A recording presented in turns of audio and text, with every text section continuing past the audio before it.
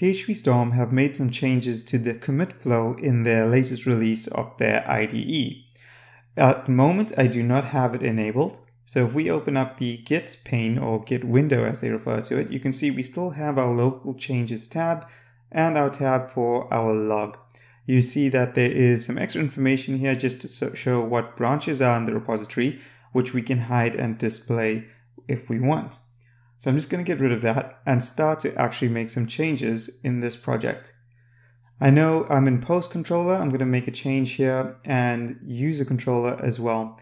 Now I know you're probably seeing logic in these controllers and thinking, what the hell's going on? All this is is just a demo project, so don't worry too much about that for now.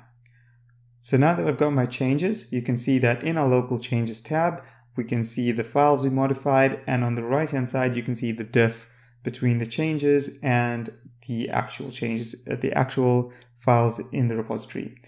If we press Ctrl K, it'll bring up the commit changes modal commit flow as they refer to it.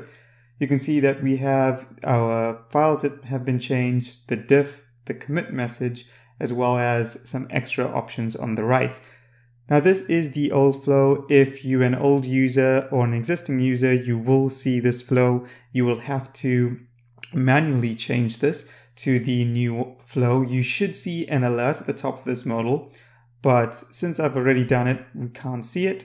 So I have to go to File Settings, just move this over. And you can see within version control, commit, there's a new uh, checkbox here that says use non-modal commit interface.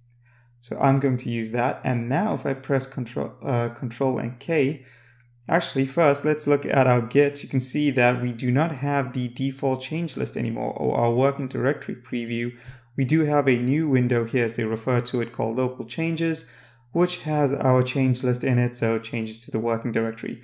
Note that it doesn't preview the diff, which is quite annoying.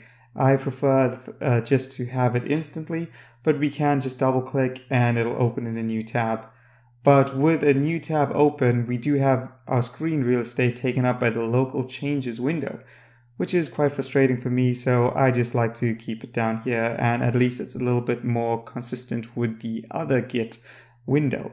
So now at least I'm full screen at the top and let's try committing this. This is a test change. We can commit and push and there's another option to create patch there that we did not see. So that was quick. It just committed relatively simple, which is great. And if we open up Git, and yeah, you can see that we have our uh, demo branch. Just remove that console bit. And all good. We can see this is a test change in our log.